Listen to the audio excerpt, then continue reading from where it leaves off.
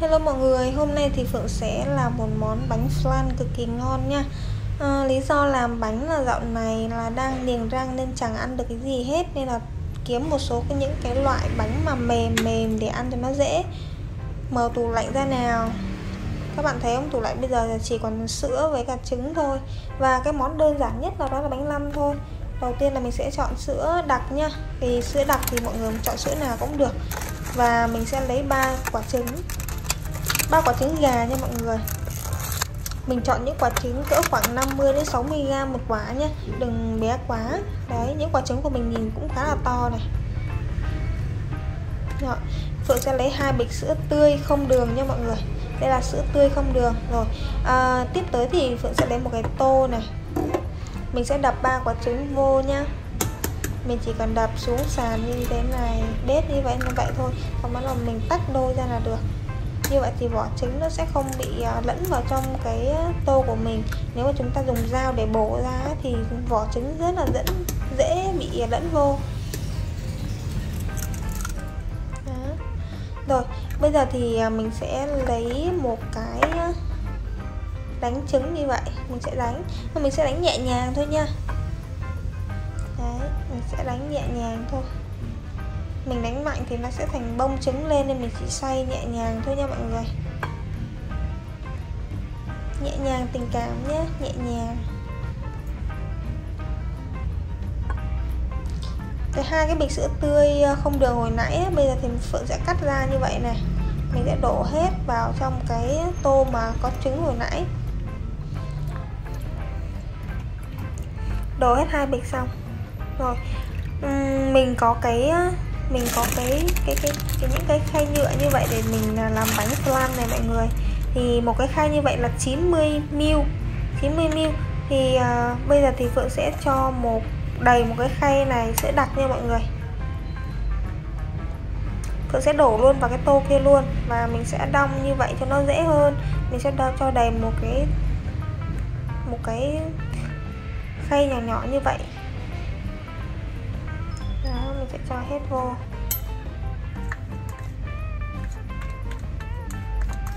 Đây là một công thức cực kỳ đơn giản thôi và nếu như mà ai mà uh, thấy rằng là cái công thức này nó không đúng hay là sai thì uh, xin lỗi mọi người bởi vì là đây là cách mà Phượng làm từ xưa đến giờ rồi và Phượng thấy bánh cũng khá là ngon rất là ngon luôn.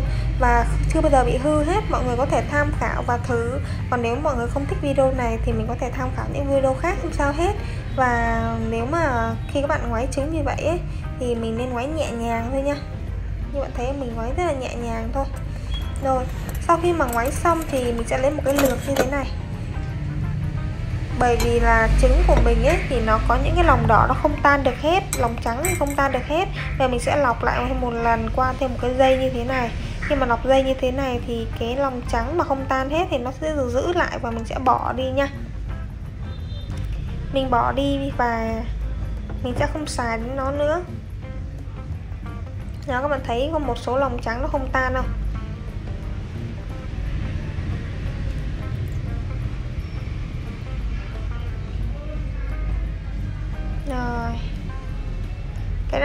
Nào nó sẽ xuống dưới. Rồi những cái tô này thì Phượng sẽ mang đi rửa nhá. Mình làm cái đâu mình rửa đến đấy để cho cái bếp của mình ngăn gọn gàng và sạch sẽ. Rồi. Lấy một cái nồi thiệt là nhỏ nha mọi người. Nhà mình có cái nồi nhỏ thì Phượng sẽ lấy một cái nồi nhỏ này. Nhỏ. Vẫn là cái ờ, khay hồi nãy đó. Mình sẽ lấy nước. Và mình sẽ lấy một xíu nước như thế này thôi, Một nửa 1 phần 3 cái cái cái chén nhỏ nhỏ này thôi. Và đường nhá, đường thì phượng sẽ lấy gần đầy cái tô cái chén này luôn. Mình sẽ đổ gần đầy cái chén này. Cũng không gần đầy thôi nhá, chứ chưa đầy. Mà mọi người cho đầy cũng được, đầy thì như dư đường quá thôi. Phượng thì phượng làm được 9 cái bánh thì phượng sẽ cho như thế này là đủ này. Đây mọi người nhìn này, đấy. Cho hết đường vô nha bây giờ thì đun sôi, đun khi nào mà nó chuyển chuyển qua màu cánh rán. Những cái lúc như thế này mình để lửa nhỏ thôi nhá.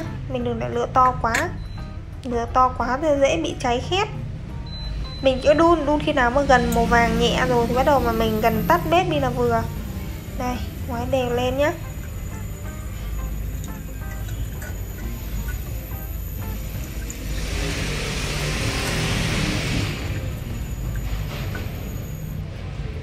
Bây đấy bây giờ nó sôi này. Nó sôi, bắt đầu nó chuyển qua màu vàng bởi vì bếp của mình vẫn còn nóng mà chúng ta chỉ việc tắt bếp đi là nó chuyển qua màu à, đánh rán màu đẹp là được. Đấy bây giờ phượng sẽ tắt bếp đi nhé. đấy tắt bếp đi thì chờ một xíu thôi là nó sẽ vàng đều là vừa. Mọi người thấy không? Tắt bếp đi mà nó vẫn nóng này. Tại vì cái bếp của mình vẫn còn nóng và cái nồi của mình vẫn còn nóng ấy.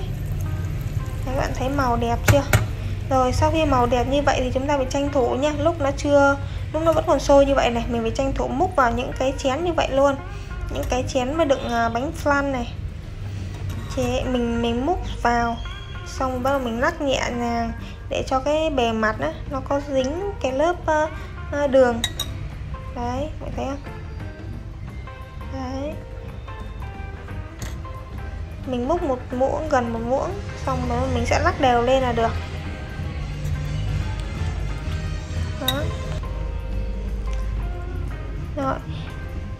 Chén này chỉ để khoảng cỡ một phút là nó sẽ đông đường lại. Thì bây giờ mình sẽ cho cái uh, nước mà hồi à, cho cái hỗn hợp. Hồi nãy mình sẽ làm bánh lan đấy. Đấy mình cho vô. Đầu tiên thì mình sẽ cho vơi vơi một tí. Một lát nữa mà dư thì mình sẽ đổ thêm vô. Còn không mình trừ trường hợp là cái cái nhiều cái ít đấy thì mình sẽ đổ đúng 9 cái nha. Công thức này mình sẽ làm được 9 cái bánh nha mọi người. Rồi sau sau khi mà xong rồi thì mình sẽ bật một cái bếp bên dưới có nước, mình sẽ trưng cách thủy nha trưng cách thủy tức là bên dưới có nước này, bên trên là mình sẽ để một cái ờ, đồ mà rỗng rỗng như thế mà mình để bánh lên là được. Mình sẽ nắp lại nhá. Những cái đồ nó có những cái nắp này, đó. Mình sẽ xếp bánh lên làm hai tầng như thế này, còn đậy vào. Hồi nãy mình bật lửa to cho sôi thôi, về sau mình sẽ giảm xuống mức 2 thôi. Đó. Mức 2 là mức nhỏ để nó không bị dỗ bánh đấy mọi người.